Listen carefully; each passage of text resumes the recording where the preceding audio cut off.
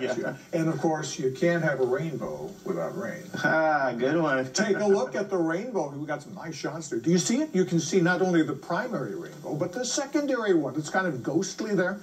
Rainbows are always, uh, well, the, the shorter wavelengths or the cooler colors, the blues and the violets are on the inside, and then on the outside are the reds, the uh, longer wavelengths. But it's reversed for the secondary. The reds are on the inside, the blues are on the outside.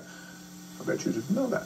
And if you didn't, it's just we we well here something that's not chaotic is this neat uh, rainbow. I, I showed it earlier, but I failed to mention Jonathan's name. Jonathan Gaeta, thank you very much for this neat shot. And uh, there it is. And you can't have a rainbow without rain.